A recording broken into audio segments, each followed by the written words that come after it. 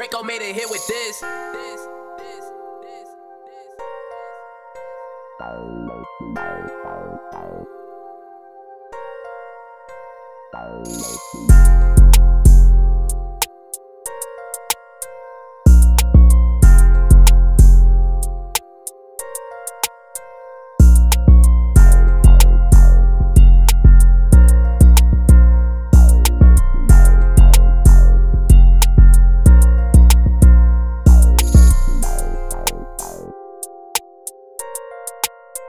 Bye.